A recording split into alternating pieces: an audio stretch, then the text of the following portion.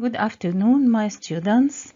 Me, Mrs. Sohair Zaki, will be with you today and we are going to uh, discuss the phenomena of light, light reflection and light refraction. This is our third uh, lesson in the second unit for uh, students in middle 2. Let's begin. In our lesson today, you are going to uh, learn and be able to define the concept of light reflection, identify the laws of light reflection, and deduce the angle of incidence and reflection. At the first, let's uh, learn what is meant by light reflection. Light reflection is uh, the returning back of light waves to the same medium on meeting at reflecting surface. This means that uh, the light rays act as a basketball when you throw the basketball to the ground, it returns back to the same medium to the air directly to your hand once more. This is how the light works when it falls on a reflecting surface as a mirror or uh, something shiny like uh, a metallic sheet or uh, any other reflecting surface. In this uh, photo, you can see how this uh, wonderful uh, scene is reflected by the settled water. The settled water in this scene acts as the reflected surface and that is why the um, scene is uh, repeated or is formed on the surface of the water due to the light reflection. So once more, what is meant by light reflection? It's the returning back of light waves to the same medium on meeting a reflecting surface. Now, what are the types of light reflection? There are two types of light reflection.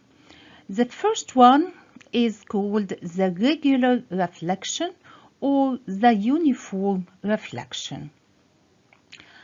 In this type of light reflection, the reflected ray will be uh, reflected only in one direction.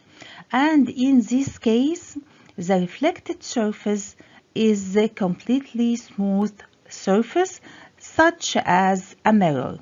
So this type of reflection is called regular or uniform reflection. In this type of reflection, the incident rays reflects in one direction. So each one of the falling rays on the mirror will be reflected together in the same direction because they fall on a smooth surface as a mirror. So, if you want to talk about the uniform reflection, you must talk about reflection out of smooth surface as a mirror and the uh, reflection must be in one direction. This is called the uniform uh, reflection. The second type of reflection is the non-uniform reflection. In this case, the surface, the reflecting surface, is a rough surface, like a piece of wood, for example. In this case, the reflection occurs in the way uh, such as in this photo. All the beam of light falls parallel to each other in one direction, but the reflected ray uh, reflects in many directions. So, in this case, the reflection will be in many direction because the uh, surface here is a rough surface, not a smooth surface such as a piece of wood or a leather piece. Now let's discuss and conclude the laws of light reflection. Let's see together this animation. In this animation, we will uh, use a beam of light ray that uh, uh, emerges from a laser pen and when this beam of light ray falls on the um, reflected surface on the mirror, it reflects by a certain angle. So we will measure the angle of incidence, which is the angle between the incident light ray and the normal. Then we will measure the angle of reflection, which is the angle between the reflected light ray and the normal.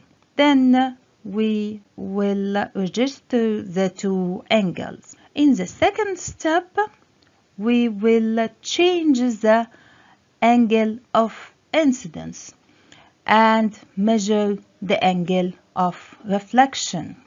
Then uh, change once more the angle of incidence and measure the angle of reflection in each case. What we will observe? We will observe that uh, in each case the angle of incidence equals the angle of reflection. And if we change the angle of incident ray, the angle of reflected ray will be changed by the same angle. So our first law is the angle of incidence equals the angle of reflection. First law of light reflection, the angle of incidence, which is the angle between the incident light ray and the normal, equals the angle of reflection, which is the angle between the reflected light ray and the normal. And what is meant by the normal? The normal is imaginary line perpendicular on the reflected surface directly on the point of incidence. This is called the normal. And we use the normal line to measure angle of incidence and angle of reflection. So, if angle of incidence, for example, equals 30 degree, the angle of reflection also will be equals 30 degree. And if you change angle of incidence to 60 degree, the angle of reflection directly be changed to 60 degree and so on. The second law of reflection the incident light ray. This is the incident light ray, which is the light ray falls on the reflected surface. And the reflected light ray, which is the light ray that we turn back to the same medium. And the normal. All these lines are in one plane that is perpendicular to the reflected surface. So the second law is the, once more the incident light ray, the reflected light ray and the normal are all in one plane perpendicular to the reflected surface. Let's uh, learn together the concepts of light reflection. The incident light ray. What is meant by the incident light ray? The incident light ray, this is the incident light ray in the photo, is the light ray that falls on the reflected surface. This is the incident light. The reflected light ray is the light ray that reflects off the reflecting surface. This is the reflected light ray. The third concept is the angle of incidence, which is the angle between the incident light ray and the normal. So the angle of incidence is the angle between incident light ray and the normal. The angle of reflection, which is the angle between the reflected light ray and the normal. Now let's have this uh, question. What will happen when a light ray falls normal on a mirror? What is meant by, by the light ray falls normal? This means that the light ray falls perpendicular on the mirror and in this case the angle of incidence will be equals zero and so the angle of reflection. So the light ray in this case will reflect on itself. So if you have this question in your exam, what will happen when the light ray falls normal on a mirror? You will answer it reflects on itself. In some cases, we asked you about the reason why the light ray that falls normal on the reflected surface reflects on itself. So here is uh, the answer because angle of incidence equal angle of reflection equal 0 so our answer here is angle of incidence equal angle of reflection equal 0 and that is why the light ray returns on itself or reflects on itself Mention the type of reflection when light ray falls on. The first case, the woolen jacket. In this case, you must um, classify the type of reflected surface. Is it completely smooth reflected surface, like a mirror, for example, or it's a, a rough reflected surface. If it's a smooth reflected surface, the reflection will be uniform. And if uh, the reflected surface is rough reflected surface, so the reflection will be non-uniform. In case of woolen jacket, of course, the surface will be rough so it's a non-uniform reflection. The second case is the stainless steel sheet. In case of stainless steel sheet, it's uh, completely smooth, so it's a, a uniform reflection. So in case of woolen jacket, the reflection will be non-uniform reflection and in case of stainless steel sheet the reflection will be uniform reflection. Now write the scientific term. The bounding of light waves in the same medium on meeting a reflecting surface. What is meant by bounding of light waves in the same medium on meeting a reflecting surface. Of course, this is called reflection of light. The second scientific term, angle between reflected ray and the normal. Of course, this angle is the angle of reflection. Write the scientific term number three, angle between incident ray and the normal. Yes, this is the angle of uh, incidence. Write the scientific term number four, light ray that falls on the mirror. What is the name of this light ray? Yes, excellent. It's the incident light ray. Now, number five. What is the name of the light ray that returned back or returning out of the reflecting surface? Yes, this is the reflected light ray. Now give uh, the scientific term number 6. Angle of incidence equals angle of uh, reflection.